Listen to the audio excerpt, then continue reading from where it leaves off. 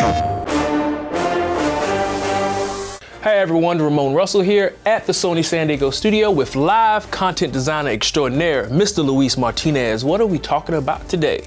There's so much going on with live content in MLB The Show 19, but let's start with monthly awards. Ooh, monthly awards. So I've been watching, we've been watching, you guys have been watching.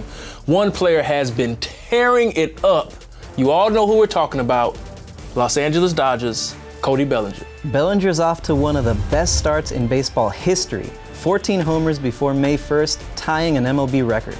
He's the new Lightning Flashback for April monthly awards available now. Collect all eight monthly awards flashbacks and all 11 Topps Now players to earn Bellinger's 95 overall flashback. We didn't stop there with Cody. He's also going diamond in this week's roster update.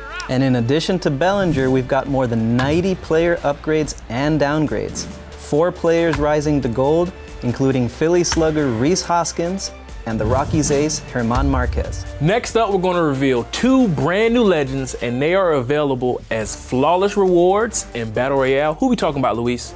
Well, let's start with Cincinnati Reds outfielder Eric Davis. He had a few amazing years in the late 80s. One stands out though 1987, 37 home runs and 50 steals. That's not all. He also won a gold glove that season.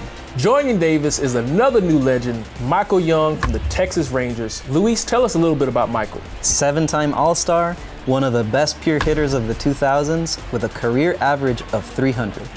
If you enjoy watching MLB The Show on Twitch, we have some exciting news. Twitch drops are finally here. All you have to do is watch MLB The Show on the Sony San Diego Studio channel. Yeah, and look for Twitch drops in the future from our studio channel, the Sony partners, and player ambassadors. And make sure you subscribe to us on YouTube. See you next time.